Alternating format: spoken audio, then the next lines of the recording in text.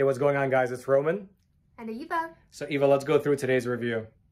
All right, this right here is an awesome squeezing station from Amazon, and this thing is just phenomenal. And the way it works is real simple. Basically, after you make a smoothie or a puree or a soup, you can put it through the squeeze station and then pump it through into one of the baby pouches. And then once you have it in the pouch, you can put it in the fridge, in the freezer, you can put it in the stroller, throw it in the bag, or just take it with you on the road. It basically makes eating healthy that much easier. And yeah, the machine itself is real good. All the material it's made out of, like the rubber and all the plastic components, it's all really high quality. And then the actual pumping mechanism, it works great. It's real simple to fill up the little syringe and then pump the puree through. And actually, you can do three bags at a time, which is real convenient.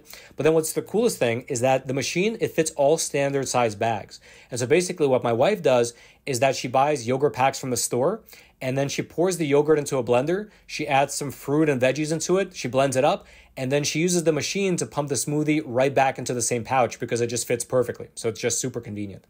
And so, yeah, I mean, overall, this is just a phenomenal baby squeeze station. I'd highly recommend it.